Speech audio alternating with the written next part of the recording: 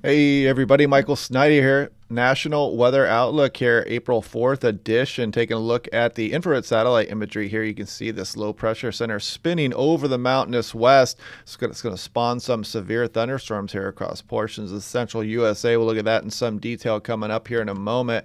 This is looking what's happening on the north side of this low. As you can see, this swath of generous snowfall all the way from Nebraska, Wyoming, Nebraska, into the Dakotas and northern Minnesota here as we go on into tomorrow morning.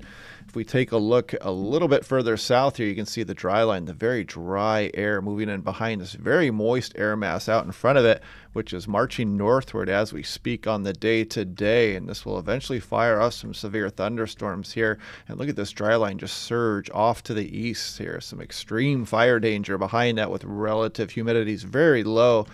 Taking a look at the upper levels of the atmosphere here, dynamic tropopause potential temperature here kind of shows these Rossby waves coming through, and you can kind of see this colder air where it dips down here, spawning this system bringing that very warm air out ahead of it here. Very dry air behind it and cold air on the north side of that surface low.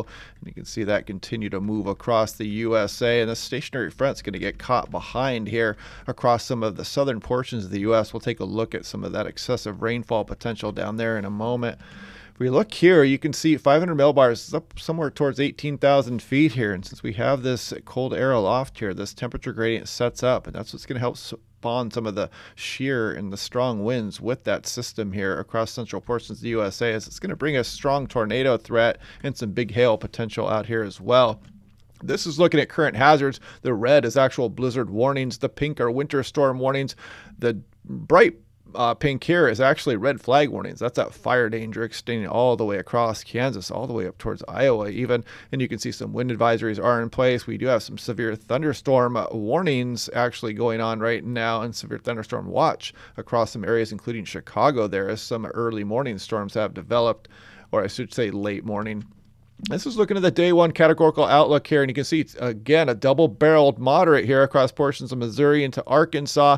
Does include a little bit of eastern uh, Oklahoma as well. You've got Iowa, Illinois, and very extreme northeastern Missouri under that as well. Here's the day one tornado outlook. We've got the double areas of 15%, and anywhere in the hatched here, they are expecting the potential for EF2 or stronger tornadoes. And you can see it just does clip uh, portions of Chicago there with that 5% if you look closely. This is the hail outlook here. Anywhere in the hatch could get two inches or greater with some severe hail there. Probably the best concentration up here in the red. This is looking at wind. You notice there's no hatch for the wind though, so that's a good thing. So maybe not too much in the way of wind damage, although it is kind of widespread here for some severe gusts. This is looking at day one fire outlook. You can see that extreme danger all the way up into Kansas here. So, yeah, watch out. Don't be the one who provides the spark here out in this extremely dry air here, surging behind that dry line. Here we're looking at day one excessive rainfall outlook. You can see it kind of mirrors where those severe thunderstorms are supposed to occur. And this will push off to the east a bit here. And we're going to get kind of a stationary front that hangs all the way back through Texas uh, Louisiana there on through Mississippi and some Alabama, Tennessee, up towards Kentucky there as well. And this will hang back an additional day across portions of Texas. Some pretty heavy rainfall can be expected here. And this is all the way out for day four. It continues across some of Texas and Louisiana there. Now, looking at the 24 hour running precipitation total, you can see some of the severe storms as they push off here. Then you'll notice this kind of area you get bullseyed here. You see it, that stationary front kind of hanging back. There are some pretty extreme precipitation amounts here as we continue to press on through the week coming up. Additional system rolling through the Pacific Northwest. But I mean, look at Texas here, kind of gets bullseyed as you go through the day Friday. And that's as far out as last night's European model run goes. But you kind of get the gist of what's going on there across some of the southern states. Now, I've been pushing this weather station here. This is the Weather Tempest system. It's very accurate. It's been doing very well against some of my more expensive professional weather station equipment. It's all solar powered. You don't have to add batteries. It's all wireless. They store all the data for you in the cloud. You can access it anywhere you have internet access.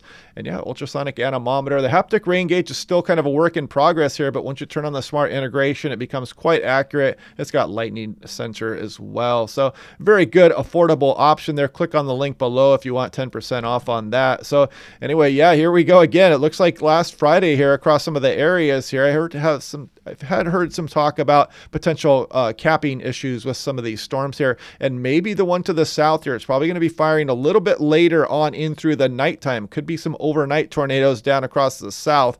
So heads up if you are in those areas. As always, is yeah, it is that time of the year. We're now moving into April. Severe weather is becoming increasingly more common here across some of the plains. I'll probably be out here chasing eventually here mid April through about mid June. I have a lot of time off there, so I'll probably be doing some briefings from some hotels out there and maybe some live streams as I'm out and chasing some severe weather as well. So, anyway, I hope you guys are enjoying these videos. I'm just trying to do these national overviews, just trying to get my feet wet here and see how this goes. But I'll always continue to do the Pacific Northwest and California when it's active as well. So, anyway, hope you guys are having a good day out there. Stay safe, and I will talk to you guys tomorrow.